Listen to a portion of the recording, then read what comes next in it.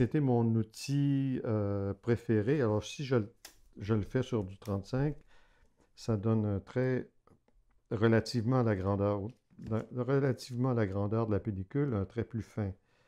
Mais un truc qui joue ici aussi, c'est que cette émulsion-là, euh, c'est une émulsion couleur qui est euh, beaucoup plus friable, beaucoup plus facile à travailler que cette émulsion noir et blanc ici.